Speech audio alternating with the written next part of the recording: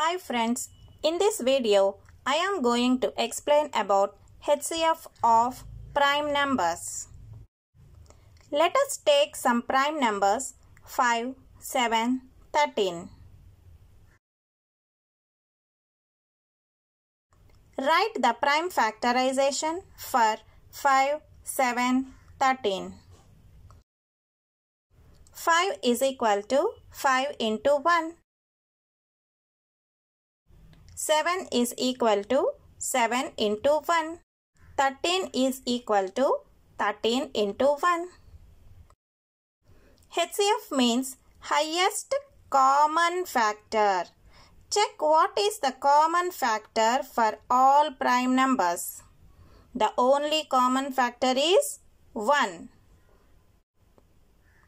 HCF of 5, 7, 13 is equal to 1. So we can always say that HCF of prime numbers is always 1.